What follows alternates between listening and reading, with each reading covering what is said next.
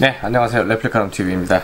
아, 오늘은 그 저희가 이제 최근에 올리고 있는 뭐 여러 가지 축구와 리뷰 관련된 사항들 뭐 이제 그런 것들에 대해서 어, 많은 분들이 이제 댓글을 달아 주시고 계시고 그 댓글 중에는 뭐 그 여러분들과 같이 꼭 생각을 해보고 공유해야 될 부분들이 어, 있는 그런 좋은 의견들이 많으신 것 같아요. 그래서 어, 그 중에 이제 몇 가지를 소개를 해드리고 그 다음에 어, 거기에 대한 이제 저희 입장, 제 개인적인 물론 어, 생각이고 이제 답변인데 물론 그 댓글상에는 답글을 제가 답 드려드렸는데 뭐 이런 부분들은 많은 부분들이 같이 공유를 했으면 좋겠다는 생각이 드는 어, 얘기거리 몇 가지를 가지고 오늘 말씀을 드리려고 합니다. 아, 먼저 그 이제 그 이름은 제가 밝히지는 않고요. 그 제가 보이는 대로 표시 표시라면 뭐 S라고 적어주신 분이신데 어, 내용은 어떤 거냐면 그 FG 스토어들을 우리나라 리뷰들이 인조구장에서 테스트를 하는 것에 대해서 제가 이제 비판적 입장을 취하고 있고 비판을 실제로 하는 영상을 많이 내용을 전, 전달을 해드리고 있는데 어, 이분 얘기는 굉장히 좋은 점이 뭐였냐면 어쨌든 국내에는 많은 소비자들인데 그 소비자들은 어, FG를 구입할 수밖에 없고 또 FG가 워낙 많이 공급이 되기 때문에 다른 choice가 없는 상황에서는 결국 FG를 인조구장에서 사용을 해야 되는데 국내 현재 reviewer들이 그런 일반인들의 니즈 그러니까 요구사항들을 잘 반영을 해서 현재 예, 어쨌거나 적합하진 않지만 어, 리뷰를 통해서 많은 정보를 알려주고 있으니 긍정적인 측면이 있지 않나 이렇게 말씀을 해주셔서 어, 굉장히 공감을 했습니다. 물론 저희들도 어, 뭐 저희가 여러 비판을 하는 뭐 매체 채널들이 있긴 하지만 그분들이 하고 있는 역할, 그 다음에 일들은 절대로 제가 평가, 폄하하지는 않습니다. 어, 그래서 굉장히 긍정일을 하고 있다는 건 잘 알고 있고, 누구보다. 다만, 리뷰어 내용, 리뷰의 내용이 약간 이제, 어, 사실에 기초하지 않거나 아니면 객관적이지 않거나 이런 부분들에서 제가 지적을 하는 거지. 어, 뭐 근본적으로 그분들이 전체가 다 틀렸다 이런 거는 입장은 절대로 아니에요. 그분들은 굉장히 이미 많은 이 축구와 에 관련해서 국내 소비자들이 많은 기여를 하고 있기 때문에 뭐 저희는 그 부분에 대해서 절대로 부정하지 않습니다. 그래서 어, 그 내용인데 물론 저희가 답은 어, 어쨌거나 그 FG 스터드는 FG, AG 스터드는 AG 구장 이게 저희 기본 원칙이고요. 리뷰도 그 방향으로 가야 된다는 겁니다. 그러니까 기존에 되어 있는 것들은 뭐 어쩔 수 없다고 하더라도 이제 우리가 해야 될 것들은 결국 어, FG는 FG 그라운드, 그 다음에 AG는 AG 그라운드. 어쩔 수 없이 만약에 FG 그라운드를 AG에서 한다 그러면 어, 정확한 리뷰가 돼야 된다. 그게 이제 저희 기본 입장이고요. FG와 AG 스터드를 뭐 FG 스터드를 가지고 AG 테스트하는 거가 문제가 없으면 저희 동영상에는 뭐 그러면 AG로 그러면 FG 테스트할 때냐 그런 얘기도 가능할 수 있는데 어, 실제로는 이제 그렇지는 않죠. 왜냐하면 유럽에서 그러니까 우리나라도 마찬가지인데요. 그, 처, 그 축구 경기 공식 경기가 열리는 구장의 잔디 길이 실제 그 피파가 요구하는 UEFA에서 요구하는 기본적인 아니면 프리미어리그나 뭐 라리가에서 요구하는 잔디 규격을 보면 도저히 AG 아, 예를 들면 아디다스 스터드 아디다스에서 나오는 AG 스터드로는 축구를 할 수가 없습니다. 그리고 어 유럽에서 나오는 UEFA 승인이 받은 그 인조 그라운드, 인조 구장에서도 아디다스에 현재 나오고 있는 그 짧은 스터드의 그 스터드는 쓸 수가 없어요. 쓸 수가 없는 이유는 잔디가 너무 깁니다. 그래서 어, 스터드가 있다고 하더라도 미끄러져요. 어, 기본적으로 보통 그런 구장의 잔디 길이, 규격상의 잔디 길이는 20에, 20에 30mm 정도로 맞춰져 있는데 축구화 스터드 길이는 전면부, 그러니까 앞쪽에 있는 스터드는 대개 13mm를 전후로 왔다 갔다 하거든요. 네이지는 두번 더 짧죠. 10mm 이하 정도, 10mm 정도밖에 안 되니까.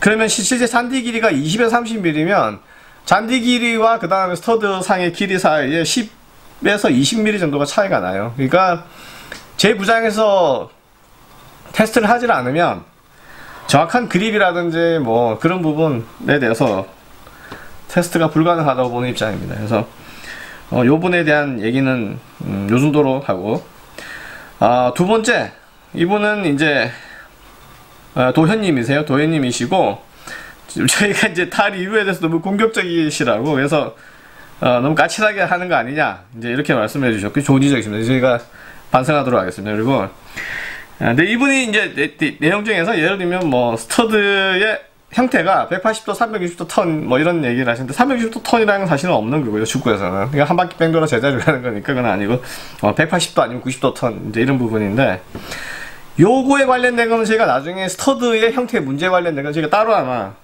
제가 영상을 한번 올릴 예정인데 네. 문제는 그 중간에 올리신 내용 중에서 제일 아주 재밌는 게 있었어요. 내용을 읽어보면 호날두 같은 선수가 나이키의 특별 제작까지 요구하면서 슈퍼플라이의 카라를 반 정도 낮게 한 이유가 있을까요? 그리고 슈팅 패드가 전혀 쓸모없다고 얘기하시는데 쓸모가 없으면 케인이나 만주키치, 황희찬 같은 선수들이 베놈을 신는 이유는 뭘까요? 이제 이런 질문이었습니다. 답변은 어, 나이키가 제공하는 축구화가 호날두에 맞지 않기 때문에 호날두가 특별 제작을 요구하는 겁니다. 이게 정답인데 되게 뭐 저희 다른 영상에서 나이키 어, 몬테베로나 공정 관련된 얘기에서 그 이야기를 저희가 후님이 리뷰를 하셨죠. 뭐냐면 축구화 선수들 지급하는 축구화는 이탈리아 공장에서만 안 되는데 그 last를 다 만들어서 선수들 발에 맞게 만들어 주잖아요. 근데 이제 그게 세 단계가 있습니다. 어, 첫 번째는 이제 기존의 예, 그, 그 계약 선수인 경우에 나이키나 아디다스는 그 스폰서 계약을 하게 되면 해당 축구화를 신어야 되는데 계약한 축구화를 그 계약한 축구화를 계약 기간 동안에 신는 대신에 새로운 제품이 나왔다 그래서 그 선수 발에 다 맞는 건 아니에요. 그래서 맞도록 만들어주죠. 그게 계약 조항에 포함이 되어 있으니까. 그러니까 이 선수가 요구하는 것들은 사양을 변경할 수 있는데 그게 완전 커스터마이징이라 해서 최고 계약 금액을 갖고 있는 A급 선수들이 하나입니다. 그래서 이 선수들은 우리가 보기에는 어퍼의 모양이 우리가 시중에 판매되는 거랑 똑같아 보이지만 실제로 다른 경우들이 있어요. 실제로 다른 경우가 있어서 그런 선수인 경우, 계약 선수인 경우에는 무늬는 똑같이 만들어주지만 실제 어퍼에 들어가는 소재, 그 다음에 이너솔에 들어, 인솔에 들어가는 소재, 그 다음에 아웃솔의 소재, 그 다음에 스터드의 형태, 그 다음에 어, 끈의 형태, 그 다음에 뭐 그 inner 패딩, 패딩의 형태, 그 다음에 축구화의 높이, heel counter의 높이, heel counter 컵의 사이즈 이런 것들이 다 조정이 됩니다. 그래서 호날두가 예를 들어서 나이키에다가 특별 요구를 했다는 의미는 뭐냐면 나이키가 제공한 축구화가 호날두 발에 안 맞았다는 뜻이에요. 그래서 호날두가 이, 이 부분 수정을 해달라고 요구를 한 거고 계약에 의해서 나이키는 그 부분 수정을 해서 호날두가 신기 좋게 만들어주는 거죠. 그 다음에 케인하고 그러면 만주키치나 황희찬이 황희찬은 좀 얘기는 한데 황희찬이 왜 그러면 베놈을 신느냐? 황희찬도 나이키 계약 선수일 거예요 아마. 나이키 쪽에 제가 문의를 해보긴 해야 되는데 그 다음에 케인하고 만주키치는 꽤 많은 돈을 받는 나이키 계약 선수들이죠. 그러니까 이 선수들은 계약을 할 때 초이스가 없습니다. 나이키 브랜드를 신때 나이키와 계약을 할 때 나이키가 신도록 하는 축구화를 신는 대신에 돈을 많은 돈을 받아요. 근데 이 친구들도 그러면 왜 그런 계약을 하고 돈을 어떻게 받냐? 당연히 돈을 받는데 축구가 자기 발에 안 맞을 수가 있어요. 나이키에서 아무리 자기들이 좋게 만들었다고 하더라도 그 축구가 발에 맞지 않을 수 있기 때문에 어쩔 수 없이 에, 커스터마이징을 합니다. 그게 조건이 안 이루어지면 계약을 할 수가 없죠. 왜냐하면 축구화를 신을 수 없는 축구화를 아무리 돈이 많이 준다고 하더라도 개인의 선수 생명과 직결될 수 있는 부분이어서 그 커스터마이징 안 하고는 신을 수가 없어요, 사실은. 그래서 어, 그 부분이 우리 대중 나한테 아, 대중이라 좀 그러나요? 뭐 하여튼 잘 알려져 있지 않은 것 같아서 어, 이거 그 계기로 제가 알려드리게 됐고요. 어, 그 다음에 또 돌기형 축구화와 그 다음에 어, 일반 축구화 사이에서 예를 들어 한 개인이 두 가지 축구화를 본인이 갖고 있는데 돌기형 축구화와 그렇지 않은 축구화 두 개를 비교해서 똑같은 힘으로 찼을 때 만약에 돌기형에서 나온 결과가 뭐 프릭션에 의해서 예를 들면 스워브나 아니면 스핀 회전수 그, 그 그런 것들 아니면 구속이 더 증가가 됐다고 하면 유의미한 결과여서 그 축구화가 효과적이지 않냐? 물론 맞습니다. 그런 똑같은 결과를 얻을 수 있다 그러면 그 축구화는 그 개인에게는 효과적인 축구하고 그런 돌기의 존재가 유한 뭐 효과가 실제로 있는 어, 존재 축구화라고 할 수 있어요. 다만 거기에도 문제는 뭐냐? 어, 똑같은 개인, 한 개인이 똑같은 힘을 가지고 찬다는 게 가능한지 똑같은 부위에 맞춰서. 그래서 과연 유의미한 결과를 얻을 수 있냐는 문제와 그 다음에 한 개인이 예를 들어 비슷한 힘을 가한 다른 거 그분이 달성했던 결과에 도달한다 그러면 쉽게 그 축구가의 돌기 효용성이 어, 과연 있다고 해야 되는 것인가? 그런 의문이 조금 남는 거. 마지막으로 또 제가 뭐 이거는 아 별도로 한번 영상을 정말 만들어서 얘기하고 싶은 주제 중에 하나인데 아 그러니까 그 포지션별 축구예요. 이분이 센터백을 보시는데 제이라는 분이십니다. 너무 좋은 의견을 주셔서 너무 감사드리고 어 그 본인 포지션이 센터백인데 센터백에 맞는 축구가 아니면 뭐 본인 사일로 상으로 어, 구분하는 것 자체 공격형이다 미드필드 이거는 어, 본인도 그 인정하지 않지만 어쨌든 어떤 특정 포지션에 특화된 축구화가 개발이 되거나 하는 거는 있지 않을까 하는 얘기를 주셨는데 어, 결론적으로 말하면 제가 우리나라 축구 리뷰 중에서 제일 혐오하고 증오하는 게 이겁니다. 축구화 중에 공격형 축구화 수비형 축구화 미드필드형 축구화가 있다는 거. 어, 왜 혐오하느냐? 브랜드에서 만들 때는 터치, 그 다음에 뭐 스피드, 그 다음에 lightweight 경량성, 그 다음에 어, accuracy, 그 다음에 터치 이런 걸로 구분을 하지. 축구화를 공격형, 미드필드형, 뭐 골키퍼형 뭐 이런 식으로 구분하지는 않습니다. 그 부분 자체가 불가능하고요. 브랜드 쪽에서도 그런 얘기를 하지 않습니다. 다만 우리나라 reviewer들에 한해서만 그런 얘기들이 현재 이루어지고 있는데 터치나 아니면 사일로상의 구분이 되는 스피드, 경량, 터치, 컨트롤 이거는 모든 축구화가 갖추어야 될 중요한 요소예요. 그래서 특정 축구화에만 해당되는 문제가 아니고 모든 축구화가 다 갖춰야 되고 모든 축구 선수들이 구비해야 될 사항입니다. 그래서 그 자체가 예를 들면 이게 공격형 축구화가 존재한다, 수비형 축구화가 존재한다, 어떤 포지션에 많은 축구화가 존재한다 이런 거는 의미가 없는 게 실제로 많은 공격수들이 머큐리얼을 신는 거는 예를 들면 광고에 한걸 수도 있고 홍보에 한걸 수도 있고 여러 가지 원인이 있고 그 공격수들이 어, Mercurial이나 베이, Mercurial Vapor가 공격수용 축구화에서 그 공격수들이 그 축구화를 신는 게 아니라 공격수들이 신기 때문에 많은 선수들이 신기 때문에 공격수용처럼 보이는 거죠. 엄밀히 말하면 어, 이 제이님께서 그 본인이 이제 그 축구를 하실 때 센터백 이신 것 같은데 그, 그 그래서 이제 그런 내용을 적어주셨어요. 어, 본인 센터백인데 보통 센터백들이 체격이 크고 그래서 공중볼 경합을 하거나 몸싸움을 치열하게 해서 사이드백과는 좀 다른 포지션 위, 플레이를 해야 되는 상황이기 때문에 그럴 경우에는 점프라든지 순간 동작이 유리한 축구화로 보면 그리고 발이 크기 때문에 체격이 큰 사람들 발이 크니까 그 발이 큰 것 때문에 발의 안정성이 필요한 축구화가 어, 필요하지 않느냐 이제 이런 의견을 해주셨거든요. 음, 리버풀의 반다이크 보면 정말 거인이죠. 실제로 보면 진짜 거대한 벽이에요. 거대한 벽 그런 선수들은. 근데 한 가지 유의를 해야 되는 게 그 그래서 이분은 수비이기 때문에 Vapor 같은 축구화는 자기에게 맞지 않으니 다른 축구화를 사고 싶은데 그렇게 축 브랜드별로 어떤 음, 특정 포지션에 맞는 축구화가 개발이 되거나 한 노력이 있느냐 그걸 문의하셨는데 뭐 제가 개발자는 아니지만 단언코 말씀드리지만 어, 그 포지션에 따른 그렇게 구분할 수 있는 축구를 낼 수는 없어요 브랜드 쪽에서. 어, 가장 큰 이유는 어, 제이님께서 그 자기의 경험을 다 얘기하셔서 점프나 그 다음에 순간 동작 그 태클 이럴 때 필요한 거는 안정감 이런 있는 축구가 되지 않냐 이렇게 말씀하시는데 실제로 만약에 헤딩 경합을 하기 위해서 점프력이 필요하다 그러면 그 축구의 반발력이 필요합니다. 무슨 얘기냐면 이 축구화가 점프 이, 이 발을 딛고 천연단지 같은 경우는 인조화지는 마도 상관없이 이거를 딛고 또는 어, 방을 박차고 나가야 되잖아요.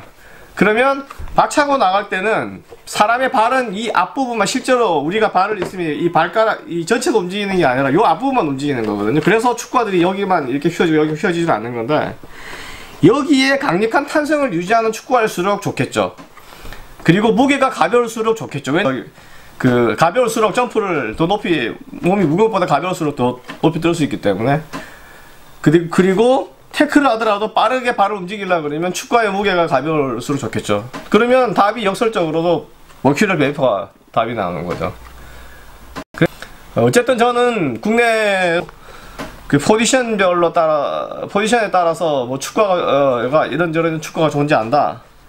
음, 그런 거는 원래 믿지도 않았었고 예, 가장 혐오하는 얘기 중에 하나입니다. 그래서 아예 여러분들도 그 이 유튜브를 하면서 제가 댓글을 보다 보면 그 제가 딱 여기 댓글 어, 여기 글 주신 분한테 댓글 그렇게 달아드렸는데 이런 말 하면 조금 지나칠지는 모르겠지만 그동안에 아, 최근 한 2, 3년 정도 동안에 이런 리뷰어들이 많이 등장을 하고 하면서 이런 데 사일러에 관련된 거, 그 다음에 뭐 공격성 수비형 축구, 그 다음에 스터드의 뭐 그립성 이런 거 관련돼서는 마치 많은 분들이 그 리뷰어들, 기존의 리뷰어들한테 마치 세뇌가 된 것 같은 그런 느낌을 받아요. 이거 어떤 건, 저희는 제가 이 유튜브를 시작하기 전까지는 아예 국내 유튜브를 본 적이 없었기 때문에 축구 리뷰를 대부분 어, 저희가 리뷰, 리뷰를 하면서 이제 다른 분들 거 리뷰를 참고하고 이랬었고 과거에 이제 뭐 그 블로그나 이런 데서 누가 공격형 축구와 뭐, 뭐 사일로 뭐 이렇게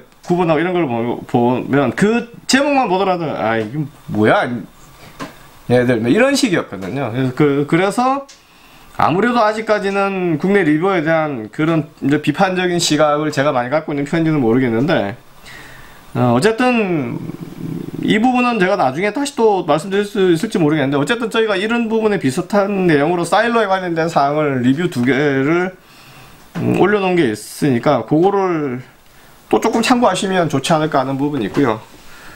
또 한 분은 우리나라의 축구 환경이 음, 우리나라 축구 환경 인조구장 이런 걸 비춰보면 실제로 FG나 SG보다는 HG가 더 낫지 않나 아, 그런 의견을 주셨어요. 그런 의견을 주셨는데 어, HG 모델은 일본 전용 모델입니다. 이것도 왜 HG가 일본에만 들어가느냐 하는 그 문의를 하신 분도 계셨는데 지금 말씀드리면 일본은 다른 제가 영상에서 말씀드리지 않았나요? 기억이 안 나요? 말씀드렸던 것 같은데 일본은 그 우리가 흔히 말하는 그 수주 시스템 상에서 어, 별도의 모델을 공급을 받죠. 근데 그 별도의 모델을 공급을 받는 거는 일본이 워낙 시장이 크기도 하고 그 다음에 일본에서 예를 들면 축구화를 나이키 본사에다가 그 다른 나라는 다 FG, AG 뭐 이런 식으로만 들어가 SG 이런 것만 들어가지만 일본에 H만 들어가는 이유는 어, 대신에 그 전체 볼륨 그러니까 최소로 생산을 해달라는 요, 수량이 HG루이 정도로만 만약에 일본 나이키가 뭐 그 그 최소 수량이 30만 정도 40만 정도다 그러면 일본 축구 시장에서 그게 소비가 될 경우에 소비가 될 수 있다고 판단이 되면 나이키 본사에서 공급을 합니다. 근데 일본은 어쨌든 맨땅이 존재하고 맨땅의 축구를 실제로 하고 있고 그래서 hard ground용 축구화가 필요하고 FG는 어 뭐 천연잔디나 인조잔디에서는 10년 신어도 이 stud가 닳을 일은 없거든요 사실은 근데 에, 이걸 만약에 맨 땅에서 우리나라처럼 특히 마사토로 되어 있는 굵은 모래가 존재하는 땅에서 이 축구화를 신으면 20경기 정도가 되면 못 신겠죠. 그러니까 stud의 유효한 부분이 빨간 부분 같은 데까지는 다 이미 닳아버리니까. 대신에 일본은 우리나라랑 토산도 좀 다, 그 토양의 질이 다르기 때문에, 토사가 다르기 때문에 HG가 어쨌든 쓰고 HD에 대신에 들어가는 스터드나 아웃솔 플레이트의 소재가 이 FG랑은 조금 다르게 채용이 됩니다. 그건 이제 내 마모성 때문에. 그러니까 맨 땅에서 사용했을 때 마모율을 높이되 대신에 일본은 그 HG 생산을 생산 요구를 위해서 FG라든지 SG 물량을 줄여갈 수밖에 없어요. 그래서 한국에는 FG 나오는 것 중에 일본에는 HG가 나온 대신에 FG가 안 나오는 경우도 종종 있습니다. 그거는 어쨌든 나이키가 일본 시장에서 제품을 공급을 할 때 HG를 최대 공급을 하기 위해서는 수량상으로 다른 부분을 줄여야 되는 것들이죠. 네.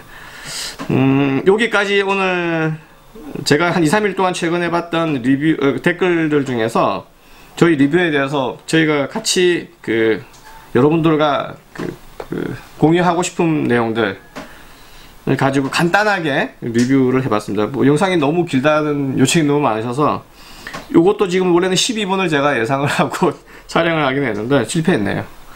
예, 어쨌든 다른 영상보다 좀 짧으니까 저희 영상이 긴 거는 조금 양해해 주시고 뭐 재밌게 봐주셨으면 감사하겠습니다. 네, 감사합니다.